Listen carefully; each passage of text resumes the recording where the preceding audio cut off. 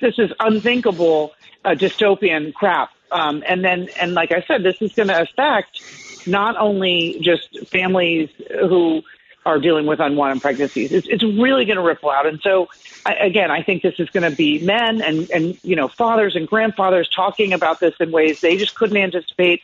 I think the Republicans, you know, had a choice. They were probably aware of how extreme their trigger laws were, right? But the rest of us weren't.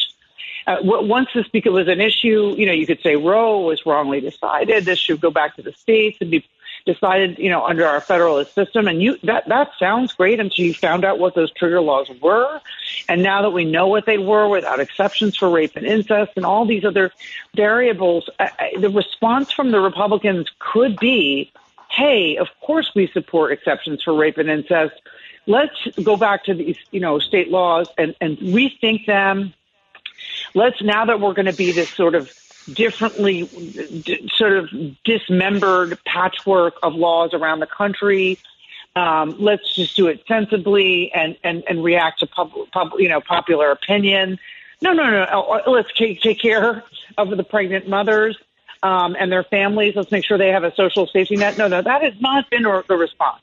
That has not been the response. The response is to no. double down, and that is where the danger is for them. Is that and that's why Mitch McConnell wants to put duct tape on people's mouths until the election.